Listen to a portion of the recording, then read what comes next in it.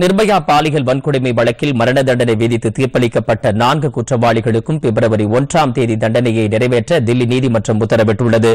முன்னதாக இவர்களுக்கு இம்மாதம் இருபத்தி இரண்டாம் தேதி தண்டனையை நிறைவேற்ற ஏற்கனவே நீதிமன்றம் உத்தரவு பிறப்பித்திருந்தது.